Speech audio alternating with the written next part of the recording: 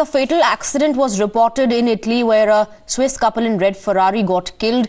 Another couple is injured. The injured couple is uh, uh, given to understand that they are Indians. They were in a blue Lamborghini, rumored to be a prominent Indian real estate developer and his wife. We have Rishabh joining us on the broadcast. That moment of uh, the crash was caught on camera, I believe, on the uh, dashboard of a car.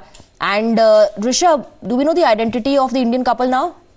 Yes, so what we know right now that during the supercar tour that was happening in uh, uh, Italy, uh, these cars met with a fatal accident, killing Swiss couple who were in Ferrari. In Lamborghini were Indian couple, and we are given to understand that it was a real estate magnate uh, from uh, Mumbai, Mr. Oberoi, and his wife, who is also a prominent Indian actress who has be, we have seen uh, Gayatri Joshi in uh, Swadesh movie in the lead role.